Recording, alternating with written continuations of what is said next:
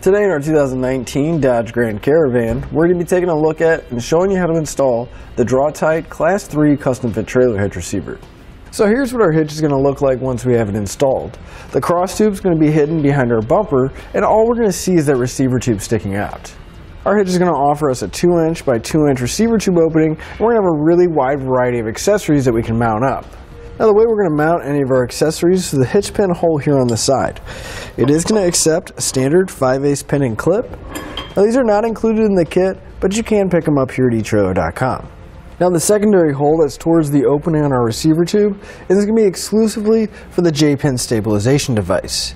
Now the way that's going to work is we're going to put the threaded section into our hitch pin hole and then the hook here is going to apply pressure to our accessory on the inside, keeping it from rattling around and making a lot of noise. Now our J-pin is also a locking device, so we'll make sure to keep our accessory secure, and it is sold separately and can be found here at eTrailer.com. And the safety chain connection points are going to be a loop style welded to the bottom of the receiver tube. As you can see, we'll have plenty of room to get most size hooks on or off. As far as weight capacity is concerned, our hitch is going to have a 400 pound tongue weight, which is the maximum downward force of the receiver tube, along with a 4,000 pound gross trailer weight rating. That's the amount our hitch can pull, including the trailer and everything we have loaded on it. Now it is designed to work with weight distribution systems as well, which is going to be a separate component that's mounted on your trailer. It's going to bump the tongue weight up to 500 pounds and the gross trailer weight rating up to 5,000 pounds.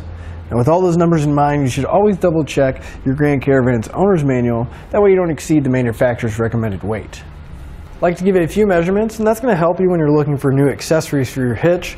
From the center of the hitch pin hole to the outermost edge of the bumper, it's right about 4 inches. The measurement is going to come in handy when you're looking at folding accessories to make sure you have enough room and that they're not going to come in contact with the rear bumper. From the ground to the inside top edge of the receiver tube opening, it's right about 14 inches. That measurement is going to help you when you're looking for a ball mount to make sure you find the appropriate riser drop to match up to your trailer.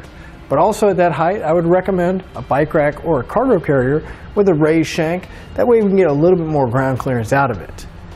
Now that we've seen what our hitch looks like and gone over some of the features, let's show you how to get it installed. To begin our installation, we're going to come to the back of our Grand Caravan and we'll come over to the passenger side where our exhaust is. And we want to follow our exhaust back a little bit to where it's right behind the rear tire. And if we look up on the frame rail, we'll find our hanger.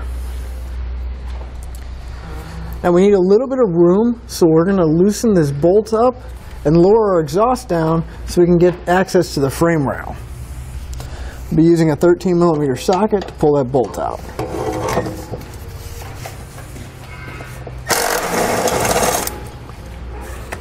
As you can see, our exhaust did come down a little bit, but not enough to really get access to the frame rail. So if we follow our exhaust towards the front, right in front of the rear axle, we'll have another hanger with that same size bolt holding it in place. So I'll take my 13 millimeter socket, pull it out, and I'll allow our exhaust to come down enough so we have some room to work with. At the bottom of our frame rail, we're going to have several bolts. We're going to to pull these out. And the one at the very back of our frame rail, we're going to use a 15 millimeter socket.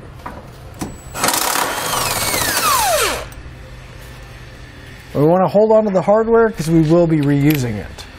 Now on the driver's side, we're going to have two bolts and we're going to pull both of these out. I'm going to be using an 18 millimeter socket to pull these out.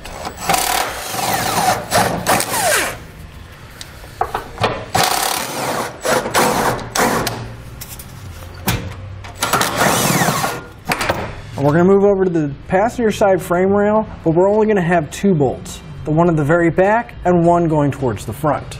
Now with the next set of hands, we're going to lift our hitch up. We're going to make sure you go over the exhaust. And then we'll line up the holes in our hitch with the holes in the frame. We're going to reuse the factory hardware to secure it down. You want to make sure you get at least one bolt in, hand tight on each side. That way the hitch will support itself. We don't have to worry about it falling down. And once you have all your hardware in place, we'll come back with the appropriate sockets and tighten it all up.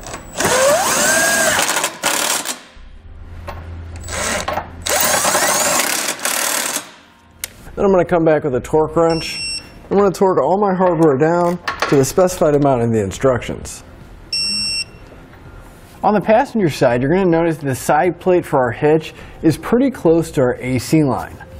Now in our hitch, they do provide us with a loom that can cover up that line and help protect it a little bit better. But as you can see, we got a pretty decent gap here, so we're not going to be putting this on. And with our hitch in place, we can raise our exhaust back up and reinstall the hardware.